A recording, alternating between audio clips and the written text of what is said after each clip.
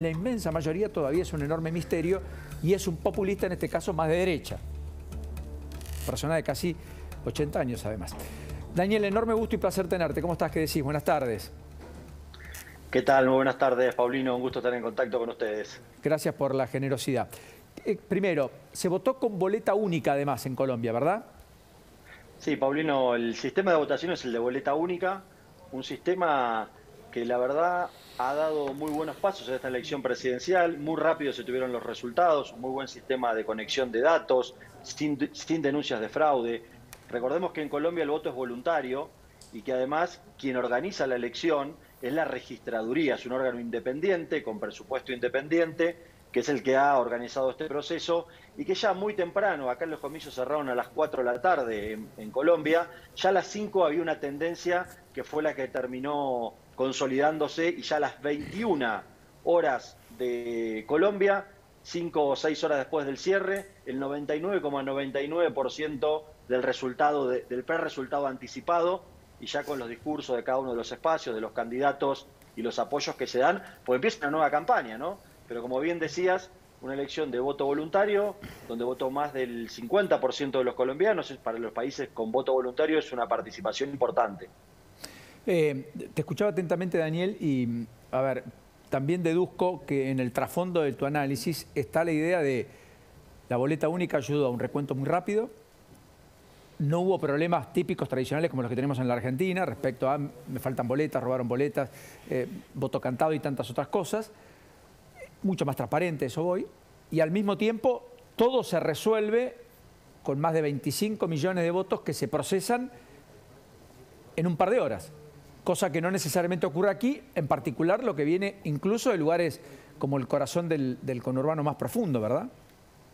Sí, Pablo, el sistema fue muy fácil. Mira, vos llegabas al centro de votación, obviamente hay un cacheo previo, te hacen ingresar, ves en, la puerta cuál es tu, tu, mesa de votación, muy similar a como pasa en la Argentina, y después los distintos responsables de la mesa tienen una boleta donde están todos los candidatos y lo único que tienen que hacer es una cruz en el candidato que eligen. La boleta te la entrega la mesa electoral, como, como pueden ver ahí también en las imágenes, y a partir de ese cruce en la boleta ingresan la urna y después se contabiliza, se van sacando todas de manera muy muy simple y, ahí se transmiten los datos eh, vía telefonía y esos datos automáticamente entran al centro de cómputos y se pueden tener referencias claras. No hay robo de boleta, es simple. Hay urnas, Paulino, como ven las imágenes, de cartón, que fácilmente uno va, hace la cruz, entrega y lo deja.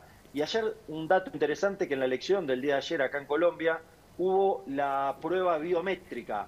O sea que cada persona que ingresaba en algunos centros de votación tenían la posibilidad de hacer una prueba con la huella dactilar acompañando el documento para tener una seguridad absoluta de cada uno de los votantes. Ha sido un proceso interesante que a priori muchos hablaban y planteaban el tema de posibilidades de fraude, de poca transparencia, pero que ha quedado claro un, muy buen operativo electoral con más de 105 mil mesas en, todo el país. Daniel, antes del análisis de qué nos depara de aquí al 19 de junio, cuál ha sido la interpretación tuya respecto a lo que ocurrió ayer, eh, simplemente Javi, un párrafo. Eh, hay un intento de la oposición de crear los consensos para dictaminar boleta única aquí en la Cámara de Diputados y poder llevarla al recinto, si no es esta semana, la próxima, ¿correcto? Sí, y es muy probable que en la Cámara de Diputados, Paulino, ese proyecto avance, el proyecto de boleta única. Las dudas están puestas... En el Senado. En el Senado, donde, bueno, así sí están abiertas algunas negociaciones. Habrá que ver qué pasa, no solamente en el Frente de Todos, que se sabe que rechaza ese proyecto, sino también dentro de Juntos por el Cambio, porque hay algunos referentes en las provincias que están poniendo reparos. En cualquiera de los casos, si no se quiebra el Frente de Todos, eh, particularmente si algún gobernador no saca los pies del plato respecto a la idea que tiene el presidente y la vicepresidente, Bordet, por ejemplo, de Entre Ríos, la situación es muy compleja. Y así todo, si pasa en el Senado, alguna especulación es que Alberto Fernández hasta podría vetar la ley. Sí, y que no se implemente a los fines prácticos en las elecciones del año que viene, 2023. Eh, esa también está la duda, porque vos podés plantear el escenario. Bueno, se, se aprueban diputados, se aprueban en el Senado, es ley pongamos lo que no... Pero rige a partir del 2025. Exacto, y no a partir del 2023 como quieren muchos, ¿no? Eh, Daniel, perdón que hicimos este pequeño impasse. Metámonos de lleno en lo que pasó ayer. ¿Cuál es tu análisis? Bueno, en primer lugar hubo una disrupción en la elección. Todo parecía que iba a quedar entre la derecha encabezada por Fico Gutiérrez. Recordemos que el presidente Duque, junto con, con el, el expresidente Uribe, habían desistido de su candidato y habían apoyado a Federico Gutiérrez para esta vuelta. Eso generó una, crisis, sobre todo de credibilidad. Hubo varios procesos a lo largo de los últimos días, de los últimos 15, 20 días de campaña, y aparece Rodolfo Fernández, eh, un, como bien mencionaban, de la zona de Santander, alcalde de Bucaramanga, una persona mayor que con métodos disruptivos, con métodos fundamentalmente anticorrupción y antipolítica, no participando de ningún debate y diciendo que él no tenía nada que hacer en los debates, con crisis a 60 días de las elecciones se fue a ver al Papa y se quedó 15 días en Europa en plena campaña electoral. Eh, tuvo una estrategia detrás muy clara, que de hecho, Paulino, te cuento que hay un argentino trabajando que ya vive hace 20 años en Colombia con Rodolfo Hernández, Ángel Becasino, que todo esto fue planificado, que hizo una ruptura en el escenario y que sobre el sprint final, todos los días que pasaban, todos los días crecía un poquitito, sustentado en los jóvenes, su estrategia en redes sociales. Es muy, muy interesante ver el desarrollo de las redes sociales de esta persona mayor, pero que es eh, furor en TikTok, por ejemplo. Este mito de que el TikTok es para los jóvenes, ¿no? Bueno, en el TikTok hay jóvenes, pero hay que tener una estrategia digital específica para TikTok para que sea exitosa y cumpla resultado como tuvo eh, Rodolfo Hernández. Y por otro lado, el crecimiento de Hernández no solo le quita votos a, a Federico Gutiérrez, que podríamos hablar de la derecha, sino también a Petro. Recordemos que Petro creía que podía ganar en primera vuelta, que podía superar el umbral del 50%. En Colombia hay que tener 50 más un voto para poder ganar en primera vuelta y el crecimiento de Rodolfo Hernández eh, se nutrió de votos tanto de la derecha como de la izquierda. La rebeldía, la antipolítica, eh, eh, la anticorrupción no mide de izquierda o derecha. Son valores que han roto, si se quiere, ese trasvasamiento en un país como Colombia donde lo ideológico pesa y mucho.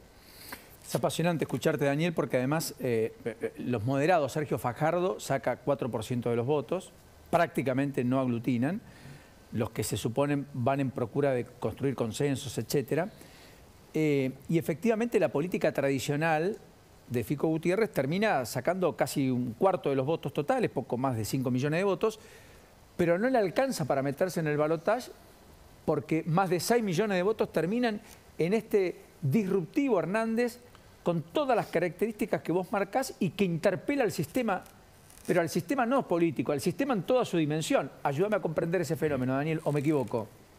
Sí, pero ¿sabes qué es interesante, Paulino? Comparto lo que vos decís, pero lo más interesante es empezar a ver distinto cómo funcionan las elecciones y los mecanismos electorales. Estamos muy acostumbrados a hablar de candidatos y poner la oferta electoral por sobre la demanda que es la gente. Y la que lo ordenó acá es la gente porque en definitiva lo que uno tiene que saber es a quién representa. Y Rodolfo Hernández no fue a los debates, no dijo propuestas, no entró, le hicieron una batalla de campaña sucia de un lado y del otro, durísima la campaña sucia, pero él no entró en ese juego y siguió hablándole a quienes él representa. Y él representaba a la anticorrupción, a la antipolítica, a los que están cansados de la política tradicional a los jóvenes, a los primeros votantes y no entró en otro juego. Porque acá hay un principio que es muy importante. Uno cree que a veces en las campañas electorales uno le tiene que hablar a toda la ciudadanía, ¿no? Y en realidad lo que también está comprobado, que el que le habla a todos no le habla a nadie. Y él identificó su electorado, se enfocó en su electorado, consolidó yo casi al 30% y fue una de las sorpresas eh, de la elección y que bueno, hizo que inclusive antes de medianoche ya Federico Gutiérrez hablara del apoyo a, Rodolfo Hernández, que tenemos que tener en cuenta que hoy, lunes, acá en Colombia, empieza una nueva campaña electoral, empieza una nueva elección. Esto fue, digamos, podríamos decir que la primera vuelta fue el primer gran acto de campaña y posicionamiento de cada uno de los candidatos. Y ahora viene por delante los desafíos que tienen. Ya cada uno empezó a jugar, digamos, en la misma noche de la elección. Petro hablando que había ganado en primera vuelta, festejando 8 millones y medio de votos, y Rodolfo Hernández en las calles con caravanas, mostrando la alegría de entrar a la segunda vuelta y la posibilidad de un cambio en Colombia. El 19 de junio son tres semanas de una intensidad de campaña, de posicionamientos, que, va a ser muy interesante para, para poder observar, porque esto está sucediendo en todo el mundo, tampoco es Colombia, los outsiders, como pasa en la Argentina, como ha pasado en Estados Unidos con Donald Trump, como pasa con Vox en España, eh, parte de lo de Bolsonaro en Brasil en su campaña anterior, empieza a marcar que la sociedad hay dos o tres características fundamentales, que es indignada, con bronca, cansada y con expectativas de futuro muy baja. Y al final del camino dice, cuando más lo ataque, dice, no, pero es una locura, no tiene propuestas. Dice, bueno, lo demás ya lo probamos todo. ¿Qué nos cuesta probar con algo nuevo? Porque justamente, mejor malo conocido que bueno por conocer, en estos tiempos dejaron de regir. Un abrazo, Daniel. El enorme placer de siempre.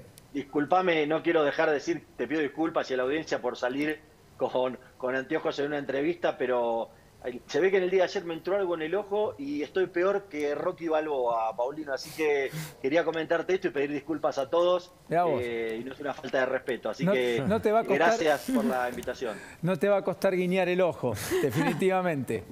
lo tengo fijo guiñado, Paulino. Les mando un abrazo grande. Muchos saludos. Espero que te mejores, Daniel. Eh, si es una conjuntivitis, que pase rápido además. Te mandamos un gran abrazo. Gracias. Eh. Bueno, allí estaba Daniel Busco hablando de la elección en Colombia.